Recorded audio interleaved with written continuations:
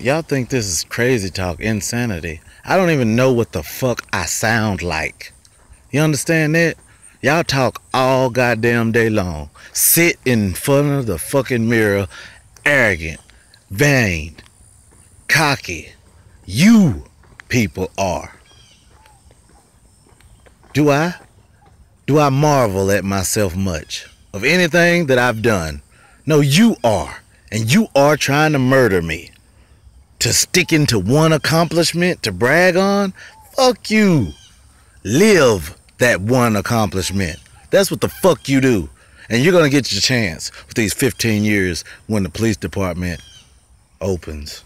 You're gonna get your goddamn chance. Each and every fucking one of you. Children included. I'm not playing.